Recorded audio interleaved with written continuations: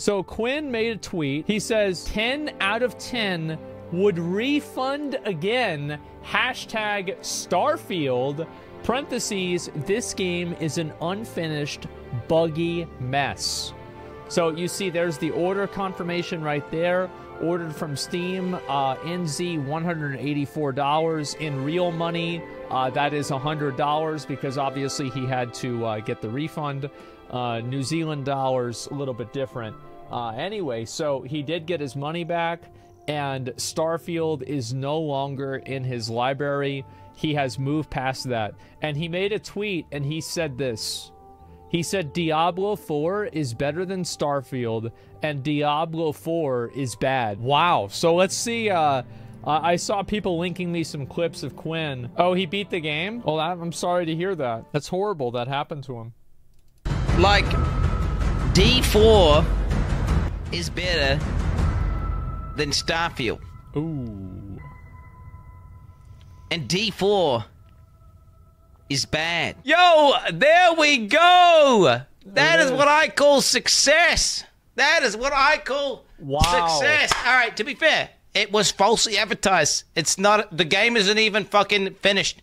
It is a buggy mess and yeah, I, let me tell you, Jesus, bro. So he actually got his shit refunded. getting content creators and they are turning them into shills with uh, they they are getting content creators and they are turning them into shills with their you know by by doing this fucking early access good boy behavior gets the good the good boy biscuits Who talked about this two years ago? Who was it?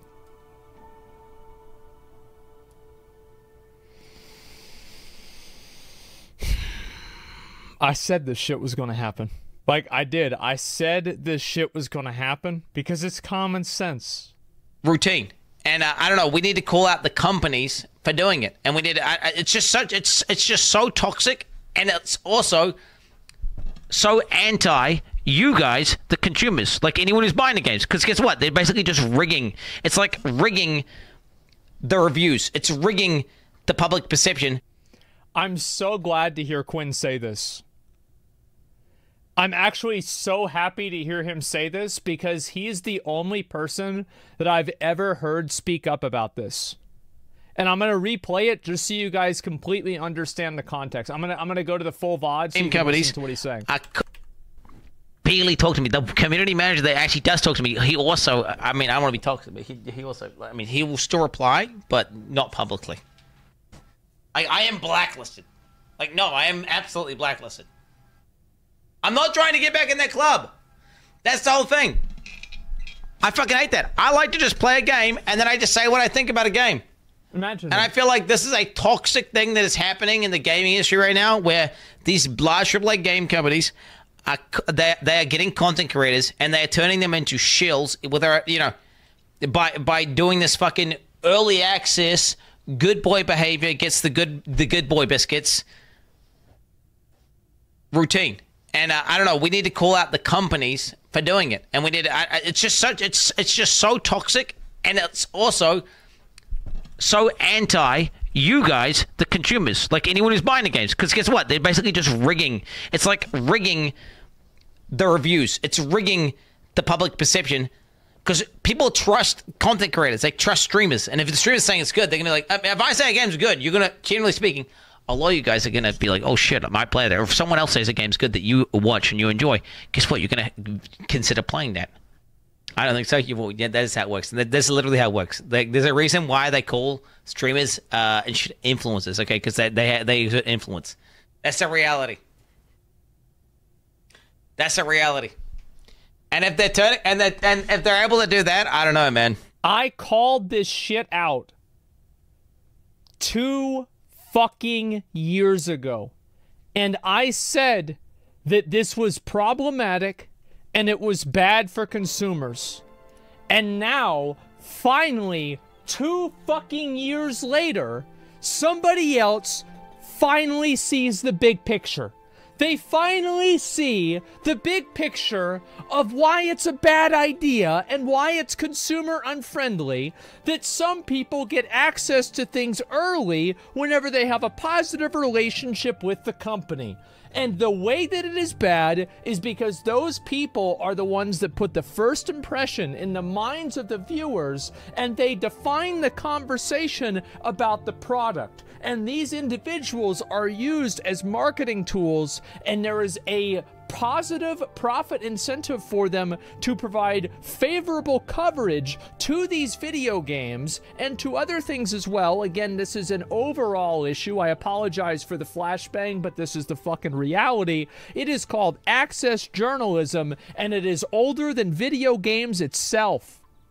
And I said this shit was going to happen, and people said, oh, companies should be able to let people do whatever they want. They should be able to do whatever they want. Well, of course, they should be able to do whatever they want, but that doesn't mean that they should do it. It's problematic. It puts, and, and it negatively hurts. It hurts the streamers, what, for eight hours? Oh my God, I think I'll live. But who does it really hurt? You. It hurts you.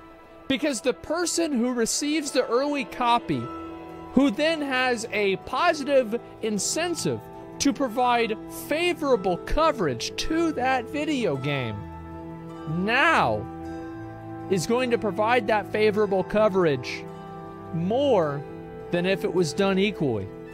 And whenever that favorable coverage is applied, and you say, you know what? Maybe I'm gonna drop the fucking Benjamin. Maybe I'm gonna spend a hundred dollars. Well, guess what happens? Todd got you again. It just works. And it does. And that's why the companies do it. I said this shit was going to happen. It's happening now, and it will continue to happen. Thank you so much, Quin. Quin is the first person I have ever heard speak out against this. And to ever explain the problem to the audience. Like, fucking massive W for Quin. This is, I get, I have never had anybody else, I've never heard anybody else say this. No, I can wait. Early access journalists are paid to support their paycheck. The point is that people that are given early access, and if the early access is only given to certain individuals, then it creates a winners and losers situation.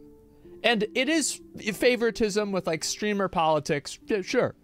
But like, you know, you manage that and you play the game. But the real people who lose out is the audience. And I'll give you an example of how this happens. Reasons you should not trust Metacritic scores. Hashtag Starfield. Metacritics went down to 86 today uh, due to the So Video Games podcast review 65. They played five hours, one mainline quest, and one to two side missions, and called it quits with some of the worst takes I've ever seen. So this is the uh, this is what they said about Starfield. Starfield is a pretty good time. It's basically Fallout 4 in space with some sci-fi and procedural generation. Thank you, ChatGPT. I really appreciate that. Special episode Starfield, the chat review. Here we go. It's so funny. We both played about four to five hours.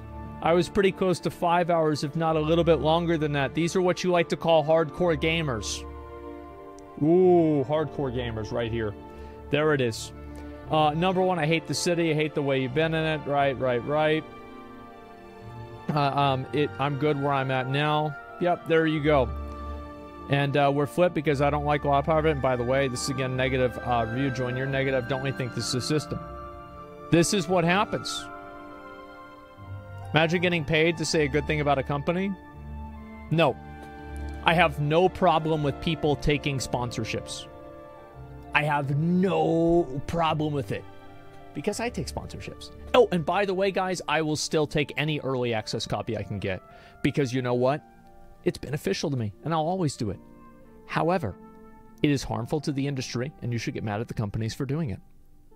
However, this is what I'm trying to say is that whenever you have a sponsorship, you have to disclose that you are doing an ad, a hashtag ad. And because of that, users are now able to know that this is a this is a, a sponsor, this is a promotion, and it is not supposed to be taken as an objective review in the same way than if it was not sponsored. Taking sponsorship is one thing, but will you give your honest opinion about the game? I did. I've given my honest opinion about the game 50 times. That that's I've given it 50 times. To Ubisoft's credit, they give early access to everyone, even those that have regularly criticized them. I don't know if they do that. If that's the case, then yeah, W's for them. Have you been scared of taking an early copy of a game knowing it would be bad? No, not really. Uh, I don't really do a lot of that anyway. Uh, yeah, that that's really what it is. You tiptoed around the idea of saying the game wasn't good. The reason why I tiptoed around the idea of saying the game wasn't good, the people that are criticizing me for that are so fucking stupid, they're dumber than the people that like the game. So the reason why I criticized, or sorry, why I didn't really go and shit on the game immediately whenever it first came out it's very simple. It's because I don't think that I'm the target audience for this kind of a game. I've never really enjoyed Bethesda games, so I didn't want to completely shit on a game whenever I played it the, uh, you know, quote, wrong way, and I just went off and did what I did. I, I didn't think that was fair. I didn't think it was fair to give, like, a review of the game and say this is a terrible game after, like, seven hours of playing it. I, I feel like if you want to give a review for a game, you should beat the game. That's my benchmark. If you can't beat the game, then you can't give a review. It's that fucking simple. You can give your first impressions, you can do all that stuff, but the truth is that my first impressions playing Starfield on day one were pretty good. I flew around in the ship, I went around, I killed pirates. The problem wasn't the first day, the problem was the second and the third day were the same as the first day. And I'd say even that they were worse because I wasn't making as much progress then. So, yes, of course, I didn't shit on the game early on. And I know that it would have been very popular for me to do that, but that wasn't the way that I felt about it.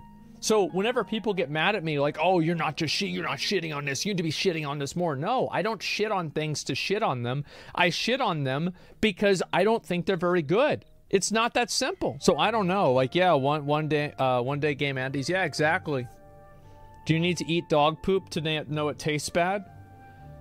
Um, no, but this isn't dog poop. It's a lot more complicated than that. You could say something like Gollum is dog poop for sure, but there's a lot of games that you don't really even know that they're problematic until way way later down the line. Like New World was a great example of this. New World was a great experience for the first like probably 20 hours that you played the game. And then after that it fell off a cliff. So the real problem is a lot of times that you don't really run into the problems that games have very early on. Diablo 4 is another great example. Both of these games had a tremendous and amazing new player experience, and then once the kind of meat of the game took hold, that's whenever they really turned into garbage. You see what I'm saying? Now, what would I rate Starfield so far? Which is, this is not a review. I think it's like a 5 or a 6. I don't think it's a three. I think it's a five or a six. Get mad at the company, not the influencers cashing the checks. You're both wrong. You are. You they, they are both wrong, but the company is the one that can stop it, and the content creators will always find a way to, uh, you know, people. You can't rely on somebody not taking a big paycheck for something like this. Uh, I think it just makes sense. Yeah, especially in like such a competitive industry. It's a lot better than Forspoken. Yeah, I think it is a lot better than Forspoken. So that's why I didn't shit on the game initially. And and the reason why also is that like I didn't really understand the game that well. And so I wanted to understand the game and I wanted to figure it out. Because I don't like shitting on games that I don't really understand. I just don't think that it's very uh, it's it's just like it's like getting mad for the sake of getting mad. What are you doing getting mad like this? What the fuck, right? So that's how I see it, man. And if people like this game, base building and ship building, it's a 7. Yeah, it's going to be a... There are some people that think it's a 10. And I'm happy for them. Let's see what the uh, the other ones are. Uh, and so I'll, I'll, look and see what uh, uh, what else Quin said about the game. Bethesda didn't allow themselves to be criticized, minimized uh, information about their game, and the subreddit is defending them. But Chris Wilson came out before the league.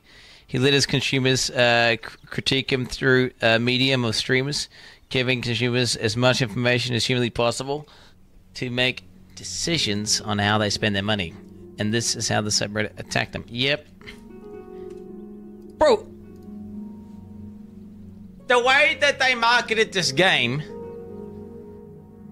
was like some endless possibilities, fucking crazy infinity story, do anything you want.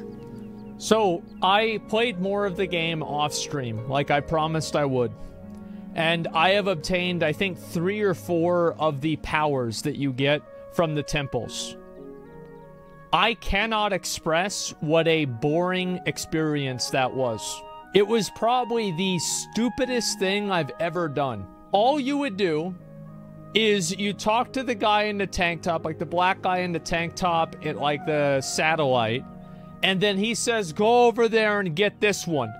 And then you come back, he says, oh man, I've been working out a lot. Oh, geez, okay, we'll go over there and get the other one. And then you just have that, that happens a couple more times, and it's done. And you go to a, another uh, fucking uh, another moon or another planet. Who cares whether it's a moon or a planet? And you're running through the planet. There's nothing anywhere. It's a barren fucking wasteland. There's like over in the corner, there's like some like stupid level 5 mob that like tries to attack you and you kill it and then you don't get anything for it. You're going on a wild goose chase trying to do like a scan to try to find the different uh anomalies, but then the new anomalies don't spawn whenever you do the scan. So then you have to teleport back to the ship in order to reset the quest progression to get the next spawn point for the next anomaly. You do that four times, then you finally fucking find where the temple is, and the process of finding and, and getting the uh, the um the power is running around in this zero gravity area collecting sparklies.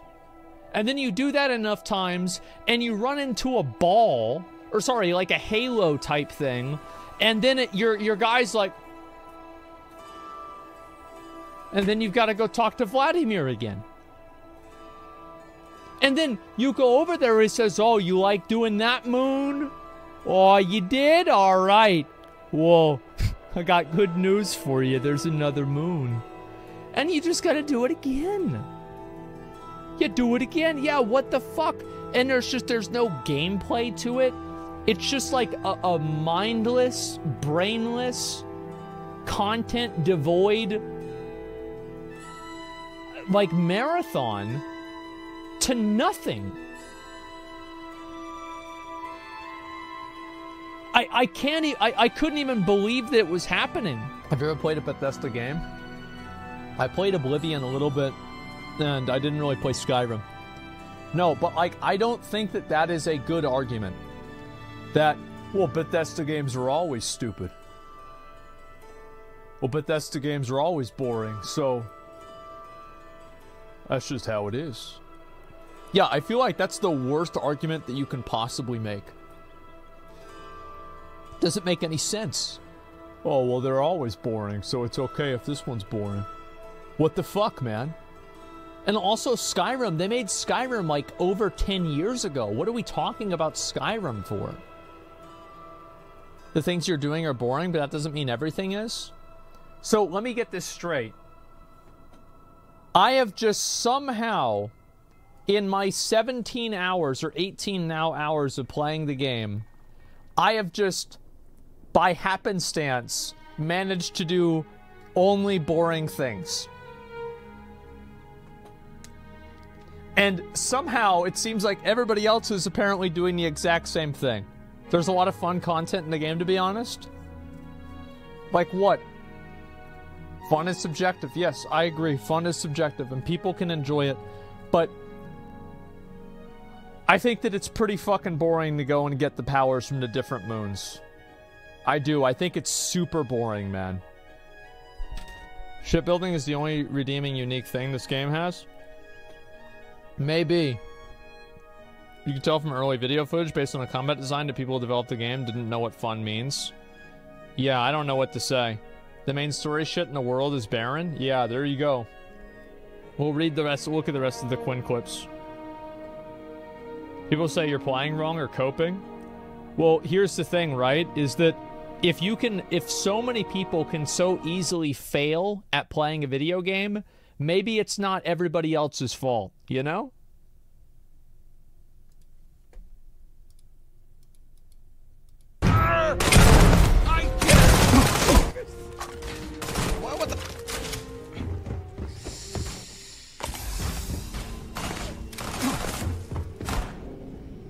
Wait. Why?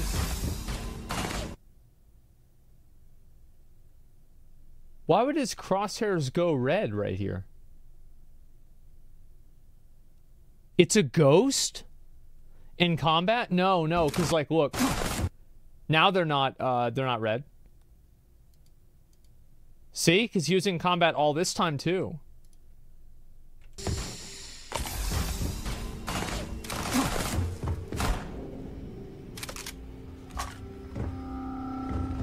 Why doesn't he just shoot him? Reload it.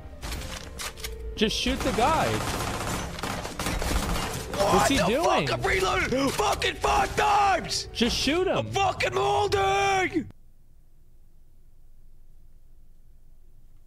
Yeah, I don't see the problem. Just shoot the boss. Anyone who gives this game a 10 is full of shit.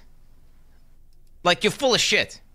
If you give your game a 100% rating, like, you are literally full of shit. It's, it's objective. It's not subjective. It's, no. There are so many fucking bugs in the game. Even if you think this No, no, Quin is right about this. Like the AI is objectively bad. Like the character design is objectively bad. Uh, like yeah, no, he's right. Story is amazing and you love the aesthetic and you love that you know Yeah. those are your favorite type of graphics you know because you maybe you do. Maybe you prefer pixel you know graphics. Maybe you prefer maybe that you just love the the, the weird uncanny like skyrim 2000 fucking 12 look of like characters faces. Maybe you enjoy like super boring a bit of fucking ultra bland ultra tame storylines. Maybe yeah. Even all that, even if all of that is like 10 out of 10, 10 out of 10, 10 out of 10, like all that subject, you know, your favorite games is like the weird Destiny 2 guns with the ultra fucking, um, you know, floaty combat with the bullet sponges. Maybe that's, you just love that. Yeah. Even if that is true. Even if, yeah, true. Reviews are combinations of facts and opinions, not just opinion. Yeah. mysterious and delve into the mysterious of the unending cosmos. Okay, cool. Jesus Christ. All right, where are we? What? All right, where are we? Options. Settings. Gameplay. Uh, difficulty. Oh, he put it on very easy because of the um the ship fights. Was that it? Yeah, I'm not surprised about that. fucking I, I don't know, dude. To be fair, to, to be sure, Cyberpunk did the same bullshit to me. I'll be honest. Cyberpunk did the same dog shit to me. Do you know what? After playing this game, it made, me respect Cyberpunk at least a little bit more. I respect Cyberpunk more. At least that game had, you know, the, I was more engaged, and on top of that, it had more grit and it had more soul. I don't know how to describe it. It was it had, it had more soul and grit. Where I, never felt like, oh yeah, this is fucking Cyberpunk. Yeah, this is like, yeah, okay, I can see this. Like, it, Starfield has made me want to play Cyberpunk. It felt realistic. The universe felt like it was. It wasn't like deliberately uh, made to be some tame. Um, they just they just let it rip, you know. the? Like Yeah, you start off and you're like fucking like trying to like you what you, what do you like saving like a fucking human trafficked hooker like cyborg lady and it's like fucking body part. I mean shit that shit was fucking good. Todd and Sweet Little Lies. Yeah, so Quin was pretty negative about the game. I'm not really that surprised. I'm really not. Uh, I, I I think that more and more people are going to uh, going to start to realize that they need to make the next the next game much smaller. No, I don't think so. I think that what they need to do is they need to just like playing uh, playing Starfield reminded me a lot of playing Oblivion. And I don't think that's a super great thing. These games were 20 years apart, and the game feels basically the same. Oblivion was fantastic. I'm gonna be real, guys. I think all of the combat in the Elder Scrolls games sucked. I think it sucked. That's it.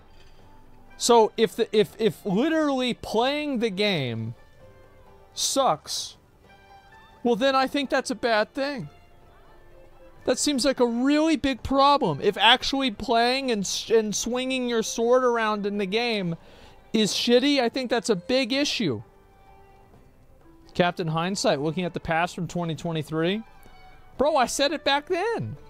That's why I didn't play it. That's why I stopped. That's why I didn't play like Fallout and those other games because they just didn't feel good. Like, what are you what are you thinking? And again, I'm talking about like, yeah, you wouldn't be able to have a 20 year context unless you're looking from hindsight. Think about it. So yeah, I'm very glad to see Quin talking about this, and uh, overall, I agree with pretty much everything he's saying, and uh, I think more people should call this shit out. And I also just don't really like the idea of, um, you know, people getting favoritism and how that favoritism is going to affect the way they review games. Do you think space games are basically harder to give interest to because you don't know what could be good or add planets to make it more alive? So why is it that like in my 18 hours of playing the game, I never once encountered an enemy that was like, "Oh shit." I never had like that um, you know, seeing the tree sentinel moment. I never had that seeing my first dragon in Elden Ring moment. There's no wow factor to the game. That's because From Software didn't develop the game. But it's not just From Software. There's a lot of other games that are like this. Game needs dragons? Well, well, what if there's like a space dragon? I mean, there's no reason there can't be a space dragon or something that's like that, you know? Like, why is it that you can't have like a giant sandworm? Why can't you have a giant sandworm? That would be sick, yeah. It would be sick. Yeah, or a space whale, or how about a whale that like is in sand? It uses the sand as like its uh, as like its water. That would be really cool, man. If Borderlands has that, well, I'm not talking about Borderlands. I'm saying like this is Starfield. I feel like that's part of Bethesda's design. They don't really add much in WoW. Uh, have much WoW in battles and combat. They create really good stuff to look at, but are bad at making enemies that are scary. You really think they create great stuff to look at? I mean, I don't even think the game looks that good. Like, it looks okay, but it's not like this is some sort of, like, crazy thing where I'm like, wow, this is amazing. It just looks okay. Asmon's ship after a week on Starfield release?